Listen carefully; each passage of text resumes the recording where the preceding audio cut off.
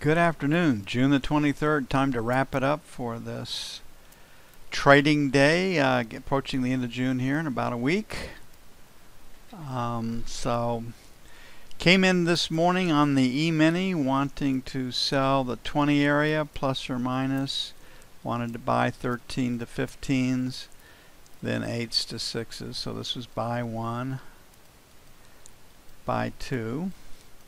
And very, very tough, slow trading once again. Had this spike up to 20. This was our sell band, so that would have gotten you short pretty close to the 19 to 20 area, and it took us all the way down here uh, for a winning trade. But just really, really, really, really tough going uh, in here. Just nothing in the way. And Then you get a, another trade here that works. This S is a loser.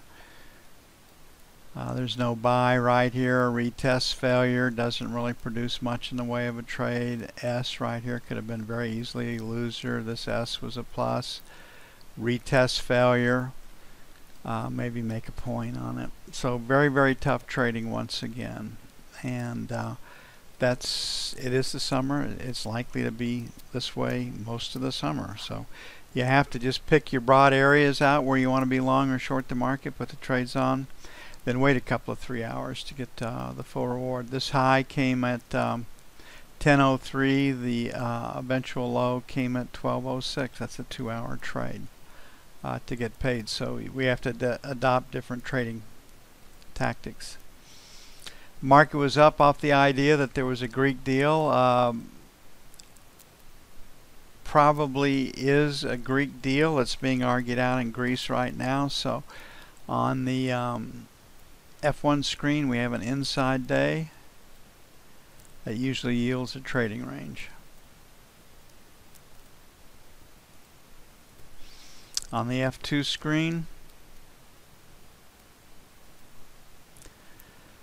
uh, it's a B but if we put it all together uh, you can see that volume is holding in this 13 area so trying to get long below uh, the uh, 13 level uh, works uh, for the last three trading days, four trading days.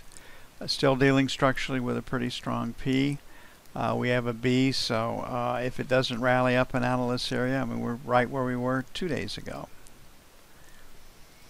On Monday, selling 19s to 21s, 24s to 26. On the buy side, 10 to 12, 5 to 7. News. GDP going to be revised from expected minus 7 to minus 0.2. So the economy wasn't as weak as thought. The uh, deflator is at 0.1. Inflation is benign and then crude inventories. And I won't know that I have those numbers until in the morning. So the focus will be GDP and what goes on in Greece.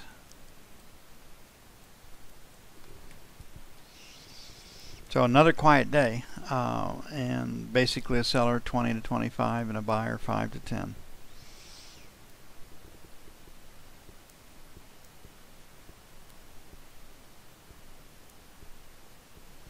And if the bias is to the upside, it's not to the downside. Okay, on the note today, uh, we had our recovery into the two-year auction. We anticipated that uh, but we were also they hit the market pretty hard before the um, the auction. Uh, the selling was attributed to Fed Governor Powell, who said we should be raising interest rates uh, in September, and that affected um, the dollar and the financials. Currencies went crazy off of that. So this screen says find a place to sell it. Fed officials do have clout. Uh, the news focus will be how much of a revision upward to get in the uh, GDP. Uh, we've got a five-year auction tomorrow. I think the easiest trade again to um, is to let them take it lower in the overnight and then tomorrow in the WXVYZ period, that little hour two hour period right there, find a place to get long because of the five year auction. But right now it looks like we're headed lower. So we're currently at 15, last rotate up stopped at 19, then at 20 and a half, then at 23. So 19 to 23, sell 1. 27 to 31, sell 2. On the uh, buy side, I think they're going to take it down a little bit in the overnight session. I'm going to put a question mark by 13, so we'd like to buy 5s to 9s. And then 29s to 01s. Don't think we can make our second level, but the market is selling. It is pointed lower. And we'll have to see uh, how low it can go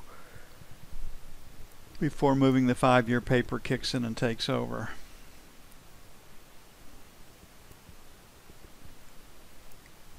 NOB spread narrowed again today. Taking a lot out of that. The um,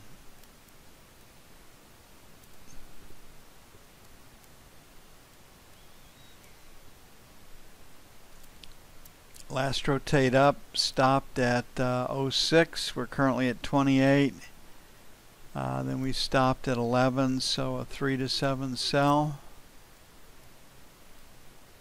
obviously we got to get through the buck to get there. Put a question mark by 49 could hold.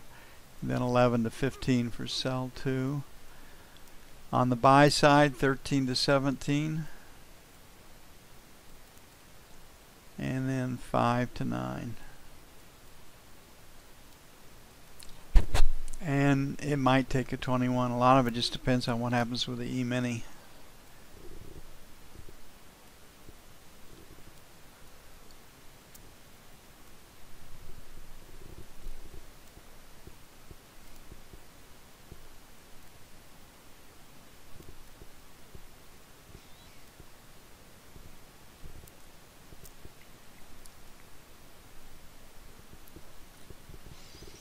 Okay, gold is pointed lower. I Think it will trade lower, but again, I don't think the bottom falls out of the market. So that 70 to 75 area is still going to be, I think, reasonably good support. We're right here. Looks like it could trade lower in London, so let's make 70 to 72. Buy one. And we'll put a question mark at 75. And then 65, 67 for buy 2. Um, favorable reports in the press about a deal between the Greece will accept it, and uh, it's hard to see how they can't accept it.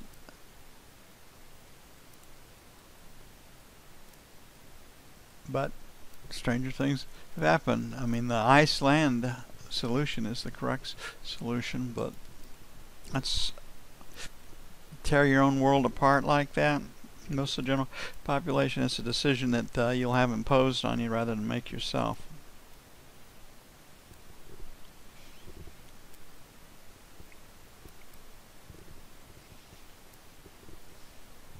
So we're basically selling 80s to 85s and we're buying um, the uh, 67, 72 area.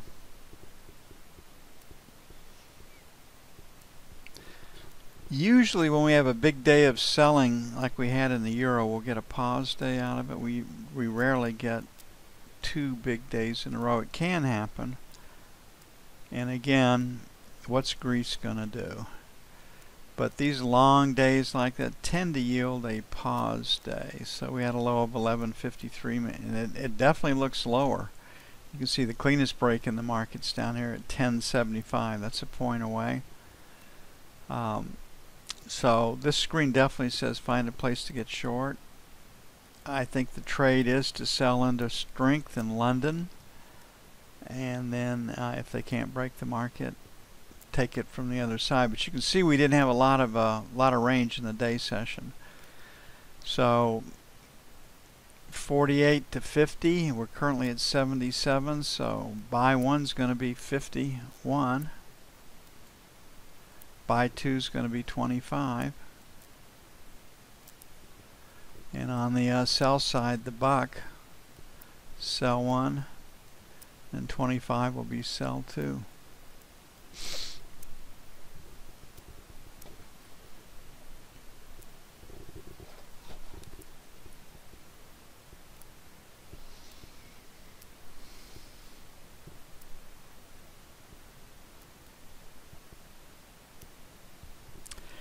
And crude. Uh, crude, I, I mean, who in the hell knows which way it's going to go and what's going to take to break out of the range, if anything. I mean, the long-term uh, fundamentals are negative because there's more supply than demand, but it's been that way uh, since um, the late last fall.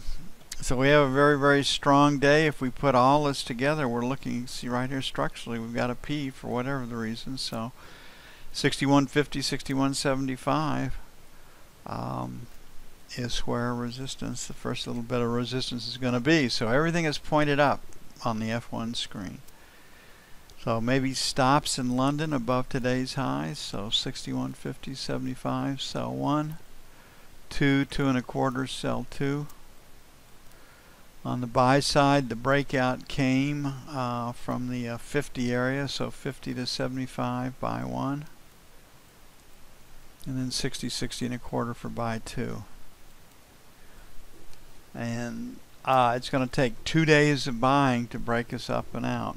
And we haven't been able to put that together of late.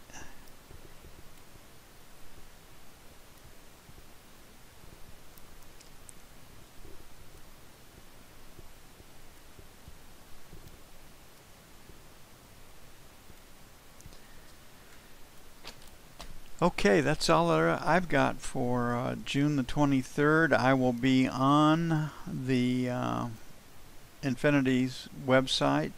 Put the link back in the room for the webinar this afternoon from 3.30 to probably about 4.30 Central.